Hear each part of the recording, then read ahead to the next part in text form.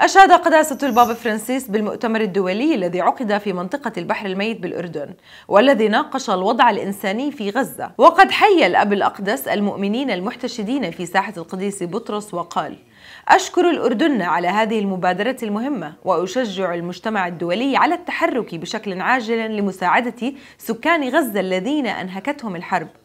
ويجب أن تصل المساعدات الإنسانية إلى الذين يحتاجون إليها ولا يمكن لأحد أن يمنع ذلك. وأضاف قداسته إن صنع السلام يتطلب شجاعة أكبر بكثير من الشجاعة لشن الحرب.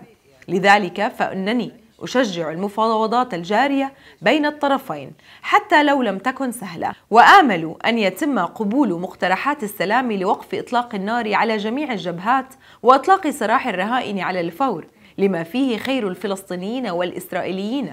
لذلك أشجع جميع الجهود التي يتم بذلها من أجل بناء السلام في أسرع وقت ممكن بمساعدة دولية.